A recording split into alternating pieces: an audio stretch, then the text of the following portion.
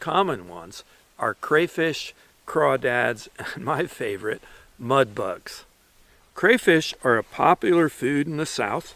And there are many farms that raise crayfish to meet the demand by the public, and it's a multi-million dollar industry. Ecologically, crayfish have a huge importance in the food web. Over 200 species of organisms feed on these protein-rich, nutritious morsels. Crayfish are detritivores. They feed mainly on decaying plants and animals, so they may capture a live animal and eat it if they can overpower